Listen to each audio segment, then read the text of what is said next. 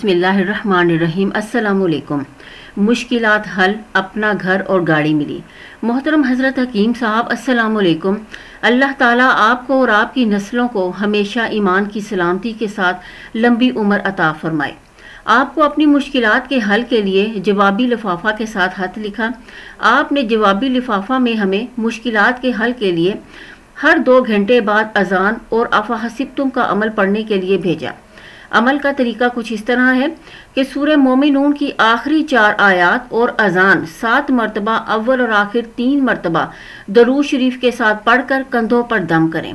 आप याद रखिएगा कि आपने अजान देनी नहीं है, अजान पढ़नी है। दिन में चंद बार या हर दो घंटे बाद भी कर सकते हैं। इस अमल को करने से हमारी काफ़ी मुश्किल हल हुई। घर खरीदने का मसला दरपेश था। अल्हम्दुलिल्लाह, अल्लाह के करम से हमें नया घर मिल गया। नए घर को आपके दर्स में जो सुना था, इसी के मुताबिक खरीदा। जुमा के दिन सौदा तय किया। जिस दिन घर में शिफ्ट हुए सूर्य यासीन का अमल भी किया। अल्लाह ताला के फजल से मेरे वालिद साहब ने अपनी गाड़ी भी खरीद ली है। वजीफा अभी भी जारी है। सुबहान अल्लाह